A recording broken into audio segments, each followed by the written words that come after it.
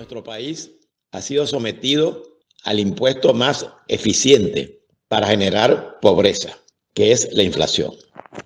la cual llegó a su máxima expresión a partir del año 2017, cuando se pudo calificar con propiedad como hiperinflación. Las víctimas principales de este fenómeno son los sectores más desposeídos, que enseguida vieron destruido el producto de su trabajo honesto, que es su salario. Esta ha sido la consecuencia más grave de la falta de una política económica en favor de la población y del interés nacional, por parte de un régimen cuyo cambio es imprescindible para que el país retome el camino del progreso en libertad. La causa de la hiperinflación se fue conformando con el incremento de los déficits fiscales que se acentuaron a partir del año 2014, financiados principalmente con emisiones de dinero inorgánico por parte del Banco Central de Venezuela, que sometido al control político del gobierno, ocultó la realidad de lo que estaba ocurriendo y se convirtió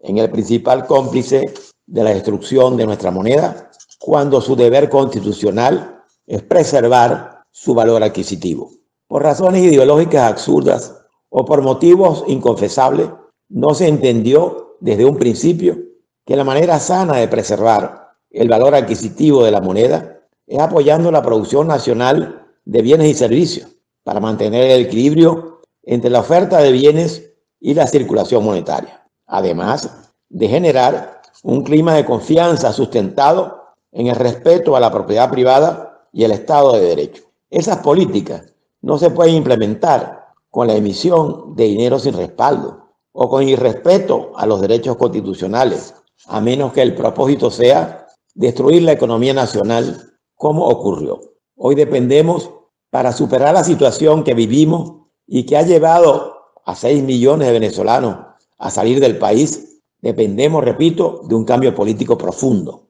que teniendo la constitución como norte, restaure las instituciones y produzca reformas económicas de envergadura, que reduzca el tamaño del Estado como una de las vías principales para reducir el déficit fiscal, que impulse la producción nacional y que renegocie la deuda externa para que el país tenga acceso y apoyo de los organismos internacionales y de las instituciones financieras externas necesarias para emprender la inmensa tarea de reconstruir a Venezuela en paz y con libertad. Lamentablemente el régimen, en su afán de preservar el poder de hecho que ejercen, no entiende o no quiere afrontar la realidad de que aplicando soluciones de fondo, que es lo que deben hacer para buscar una solución, en vez de aceptar esa realidad, lo que hacen es tratar de poner pañitos calientes o excusas para seguir metiéndole la mano a los exiguos bolsillos de los venezolanos.